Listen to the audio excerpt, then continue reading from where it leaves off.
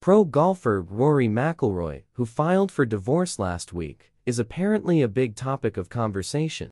Internet investigators are convinced the Irishman, who announced he was splitting with his wife of seven years, Erica Stoll on May 13, is dating someone new. She's CBS's 19th hole reporter Amanda Balionis. Click to resize. Rumors began the day before the filing on Mother's Day, when Balionis was interviewing McIlroy at the Wells Fargo Championship in Quail Hollow, North Carolina. After he failed to mention Stoll, the mother of his three-year-old daughter Poppy, tongues began to wag. A source dished to the Daily Mail that the chemistry sense between the two went beyond the greens, and that McIlroy had been spotted around the journalist's neighborhood in San Diego.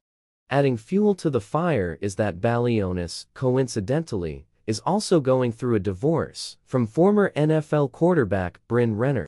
If the trolls are correct, McIlroy, 35, and Balionis, 38, are logging a lot of air miles to see one another. The Puttery Miami co-owner currently lives in Jupiter, Florida.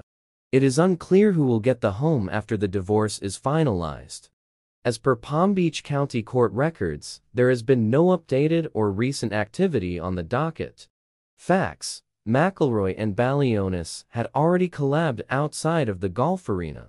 Last month, McIlroy shot an adorable promo for Balionis nonprofit, Puppies and in Golf, helping rescues find forever homes.